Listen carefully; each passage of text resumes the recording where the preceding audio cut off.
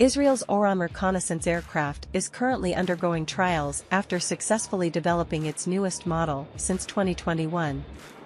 This aircraft is claimed to have advanced technology with wider reconnaissance capabilities.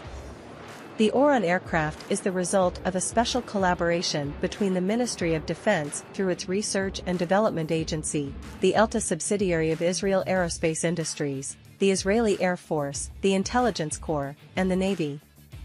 The following is a review of the specifications of Israel's Oron reconnaissance aircraft. Specifications of the Israeli Oron reconnaissance aircraft According to the Israel Defense Forces, IDF, the Oron aircraft equipped with C4I sensors and systems will provide unprecedented intelligence capabilities in a wide range of environments.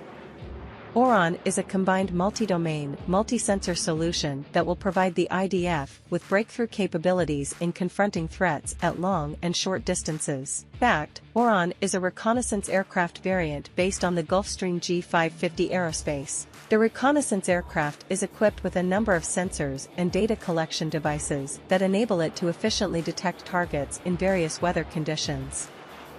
Oron has the ability to increase its operational excellence at the second and third levels.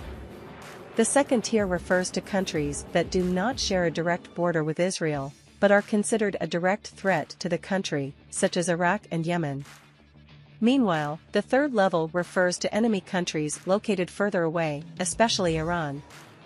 Oron has been equipped with advanced sensors, including advanced radar systems, and artificial intelligence AI, technology, Utilization of AI technology will enable the use of efficient and automated data processing systems.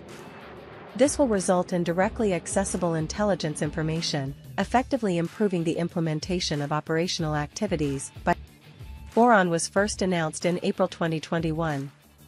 This aircraft is also known as Mars 2 or Multi-Mission Airborne Reconnaissance and Surveillance System by ELTA.